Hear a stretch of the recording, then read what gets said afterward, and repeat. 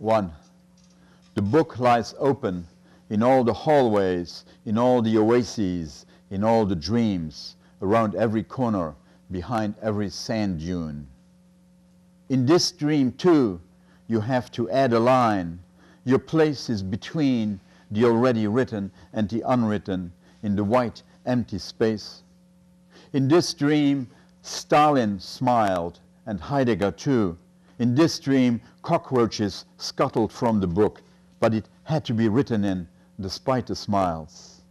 A dream of a book, a dream of a desert in a book, a dream of a desert that runs from the book, a dream of a book and a desert, a dream of sand through fingers, a dream of white, a dream of mica, a dream of phoenix, a dream of a desert spilling from the book into and through the hallway and out the door. And a voice said, write in the book and you will be healed. A voice said, a voice said, my middle, my voice, my will, write in the book. Write the desert, the dream, write the sand, the white, write the running, dream the book.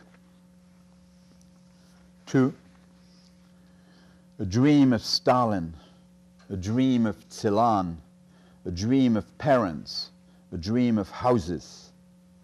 In the first house, Celan hides in a closet and Stalin bangs his big boots and stomps over the wooden floor. In the second house, Celan escapes through the back window and Stalin screams and tears at his mustaches. In the third house, we are not. It is full to overflowing with all the parents, everybody's parents, Celan's and Stalin's and mine too. In the fourth house, there is a city in ruins. A moon stands above it. It is white. It is full. It has jebels and wadis on it. It is pouring with sand.